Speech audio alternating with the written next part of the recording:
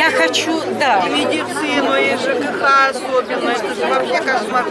Смотрите, вот я бываю часто в Оренбурге. Там нет такой вырубки деревьев, даже вот в близлежащем нашем Новотроицке. У нас вырубят, поставят рек- возле магазина. А кто в этот магазин ходит? Стоят машины только от самого хозяина. Поэтому мы и приходим.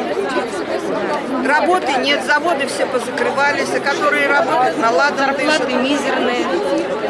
Что толку-то? Вот он сидит в Белом доме, и что, лупит глаза в окошко на нас, скажет, ну, дураки, постоите и разойдетесь. Задыхаемся в полном смысле.